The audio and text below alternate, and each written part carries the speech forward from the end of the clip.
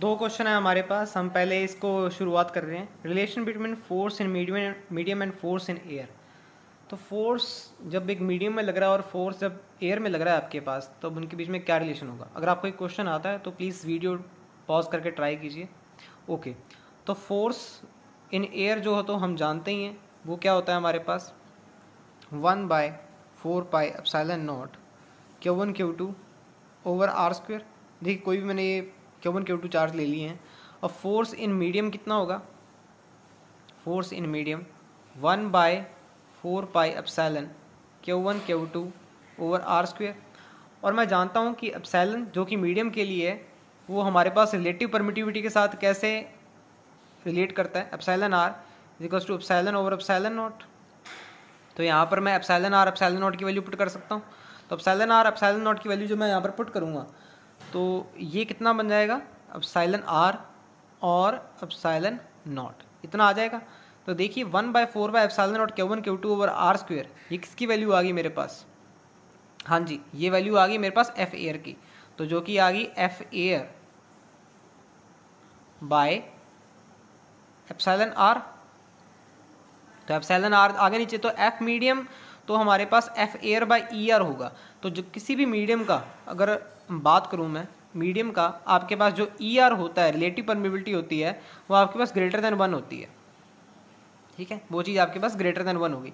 अगर वो greater than one होगी तो F medium will always be lesser than F medium will always be less than F air तो यहाँ पर हमारे पास रिलेशन बन गया है F medium lesser than F air और मेटल्स के लिए के लिए ई e आर जो हमारे पास होगा, वो इन्फानाइट होगा। ओके आगे चलते हैं, इस क्वेश्चन की तरफ़। इस क्वेश्चन में अब हमारे पास दो, हमारे पास मेटल स्फीयर दे रखे हैं। इनका चार्ज क्या हुआ है? आप ये एज्यूम कर सकते हैं और उनके बीच में, पहले उनको एयर में रखा गया और उनको मीडियम में रखा गया। तो कहता वो दोनों सेम आ रहे हैं।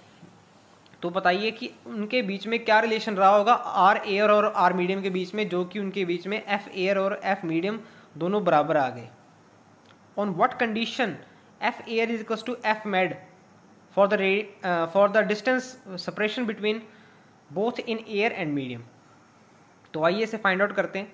तो पहले तो उसने हमें रिलेशन दे रखा है कि F air is equal to F medium मतलब कि यहाँ पर अगर मैं इसका रिलेशन निकालूँ F air one by four pi epsilon naught one by four pi epsilon naught Q one Q two over R square तो मैं दोनों चार्ज सेम ले लेता हूँ। For the sake of my easy calculation R square और F uh, medium देखिए इसको are one ले लेता हूँ मैं क्योंकि दोनों में दोनों केसों में आपके पास क्या अलग अलग होगा सेपरेशन और इधर मेरे पास आएगा one by four pi epsilon R epsilon naught और Q square over R two R two square है ना? तो ये आर टू स्क्वेयर आ जाएगा। और आर वन स्क्वेयर इसके अंदर सेपरेशन है एयर के अंदर, और आर टू स्क्वेयर हमारे पास आर टू सेपरेशन है हमारे पास मीडियम के अंदर। तो यहाँ से कुछ वैल्यूज़ मैं काट सकता हूँ, और मैं एकदम रिज़ल्ट में पहुँचता हूँ कि मेरे पास कितना आ रहा है। कि R two over R one square by E R इतना आ जाएगा। इतना आ जाएगा तो टू मैं जानता हूँ कि टू मीडियम का था। तो यहाँ से मैं रिलेशन निकाल सकता हूँ कि आर मीडियम आपके पास R medium by R one जो कि एयर का है, वो मेरे पास one by under root E R है। One by under root E R है तो यहाँ से सिंपली जो आर एयर का रिलेशन निकलेगा आर मीडियम से आर एयर का रिलेशन जो आर मीडियम से निकलेगा, वो मेरे पास कितना होगा? Root E R into R medium तो जो सेपरेशन होगा दोनों के बीच में एयर के मुकाबले मीडियम के मीडियम के लिए तो एयर में हमारे पास सेपरेशन कितना होना चाहिए? मीडियम की सेपरेशन के डिस्टेंस इनटू जो उनका रिलेटिव परमेबिलिटी है।